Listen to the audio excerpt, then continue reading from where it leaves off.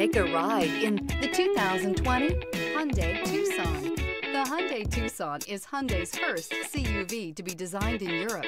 Tucson takes the boxy utility vehicle and transforms it. With flowing curves, graceful lines, and style to spare, it's the future of the crossover and is priced below $25,000. This vehicle has less than 30,000 miles. Here are some of this vehicle's great options. Tire pressure monitor, all-wheel drive, aluminum wheels, wheel locks, rear spoiler, brake assist, traction control, stability control, privacy glass, four-wheel disc brakes. A vehicle like this doesn't come along every day. Come in and get it before someone else does.